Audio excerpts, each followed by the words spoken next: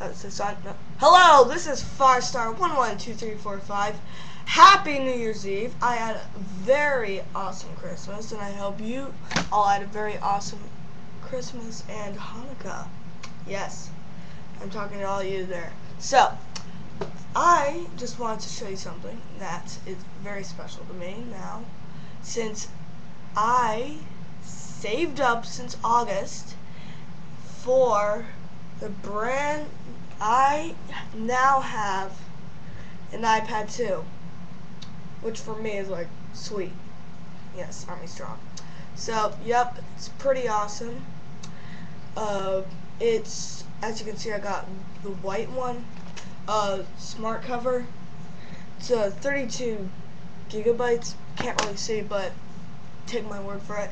But don't wait. I'm to bring something back else.